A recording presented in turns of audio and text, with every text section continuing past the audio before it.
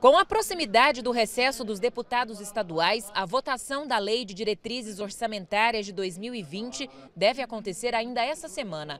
11 audiências públicas foram realizadas em cidades do interior para discutir a destinação dos recursos. Foi muito salutar para que a Assembleia Legislativa viesse pegar as demandas regionais que vai fortalecer até mesmo na elaboração da LOA, para que o nosso direcionamento venha a ser um direcionamento focado no que diz respeito a uma melhor qualidade para que essa LDO venha ter a melhor cara para os goianos. O projeto ainda passa pela Comissão de Tributação, Finança e Orçamento. Se for aprovado, vai para o plenário, onde passa por outras duas votações.